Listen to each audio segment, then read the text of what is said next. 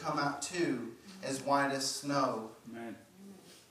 You might be among the individuals here that might say, I'm not as bad as you think I am. Or I'm not as bad as some people. Well, if you're honest with yourself, let's see. You know, God gave us Ten Commandments. And in these Ten Commandments were God's moral law for mankind to obey. Rightfully so. If we compare ourselves to mankind, we're not too bad. You're not as bad as me, and I'm not as bad as someone else, and, and we can play that game all day long. But when we take ourselves and compare ourselves to perfection, God's holy, righteous, and moral law, well, let's see. Have you ever, have you always loved the Lord with your heart, mind, soul, and strength? If you're honest, you might say no. Well, the reality of that statement that makes you an idolater. Have you ever lose, used the Lord's name in vain?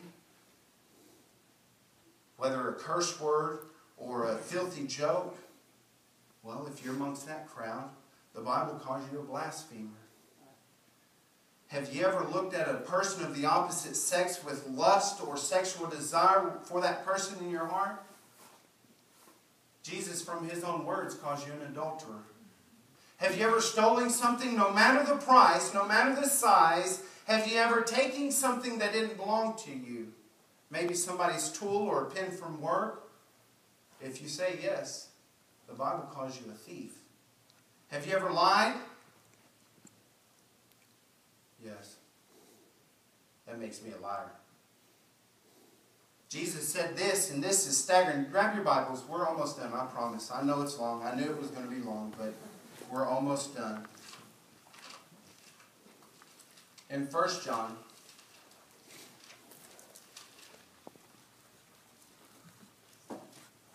in chapter 3, in verse 15, 1 John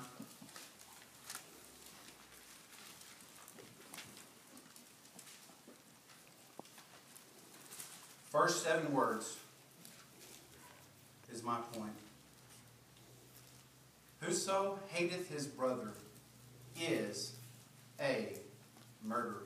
Doesn't say like a murderer. It doesn't say gonna be a murderer. It says whoso, 1 John chapter 3 and verse 15, declared the word of God, whosoever hateth his brother is a murderer. Have you ever hated anybody? The Bible calls you a murderer. And ye know that no murderer hath eternal life abiding in him. That's a tough one to swallow.